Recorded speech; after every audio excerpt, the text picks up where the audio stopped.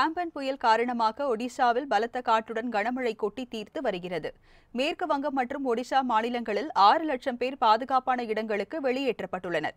ஆயிரத்து தொள்ளாயிரத்து தொன்னூற்று ஒன்பதாம் ஆண்டிற்கு பின் வங்கக்கடலில் முதன்முறையாக உருவாகியுள்ள சூப்பர் புயலான ஆம்பன் இன்று பிற்பகல் மற்றும் மாலை வேளையில் வங்கதேசம் மற்றும் மேற்கு வங்கம் இடையே கரையை கடக்கிறது. அதிதீவிர புயலாக வலுவிழந்து திகா மற்றும் ஹதியா தீவுகள் இடையே ஆம்பன் கரையை கடக்கும் என இந்திய வானிலை ஆய்வு மையம் தெரிவித்துள்ளது.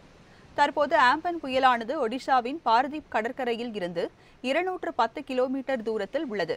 இதன் காரணமாக ஒடிஷாவின் பாட்ராக் பகுதியில் பலத்த காற்று வீசுவதுடன் கனமழை கொட்டி தீர்த்து வருகிறது.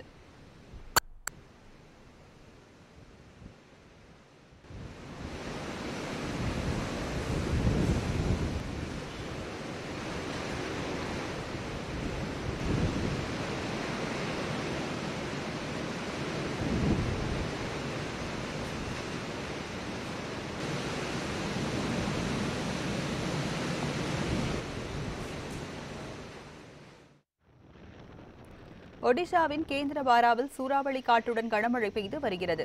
கடல் கொந்தளிப்புடன் காணப்படுவதால் கடற்கரையில் நிறுத்தி வைக்கப்பட்டிருந்த படகுகளை அலைகளை ஊந்தி தள்ளுகின்றன.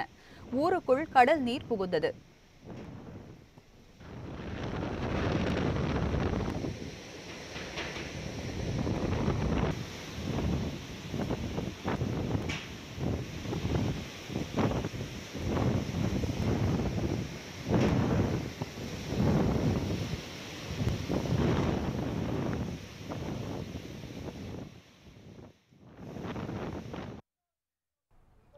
இதேபோல் மேற்கு வங்கம் மாநிலம் திகாவில் கடல் கொந்தளிப்புடன் காணப்படுகிறது பொதுமக்கள் வீடுகளுக்குள்ளேயே பாதுகாப்பாக இருக்குமாறு தேசிய பேரிடர் மீட்புப் படையினர் எச்சரித்து வருகின்றனர்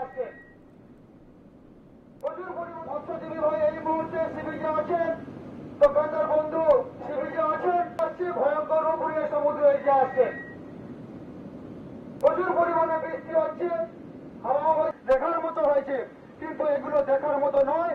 আপনাদের সাবধানতা করাচ্ছি আপনারা এই মুহূর্তে এখান থেকে ছ কিলোমিটার, আট কিলোমিটার বহুমুখী ঘূর্ণিঝড় দেখা আছে সেখানে আপনারা এগিয়ে যান। দয়া করে বলছি, সাবধান থাকুন। আপনাদের পাশে আমরা আছি। দীঘাতনার পক্ষ থেকে আমরা கடற்கரைக்கு செல்வோரை போலீசார் எச்சரித்து அனுப்பி வைத்து வருகின்றனர். ஆம்பன் புயல் கரையை கடக்க உள்ளதை அடுத்து ஒடிசா மற்றும் மேற்குவங்க மாநிலங்களுக்கு தேசிய பேரிடர் மீட்பு படையை சேர்ந்த நாற்பத்தி ஓரு குழுக்கள் சென்றடைந்துள்ளன. தாழ்வாட பகுதிகளில் வசிக்கும் மக்களை அவர்கள் பாதுகாப்பான இடங்களுக்கு வெளியேற்றி வருகின்றனர். அந்த இரு மாநிலங்களிலும் தற்போது வரை ஆறு லட்சம் பேர் மீட்கப்பட்டுள்ளதாக தெரிவிக்கப்பட்டுள்ளது.